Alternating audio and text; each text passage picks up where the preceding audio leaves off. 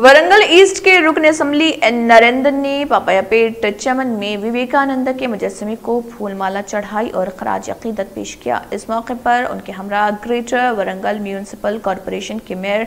जी प्रकाश राव के अलावा दीगर अफराद भी मौजूद थे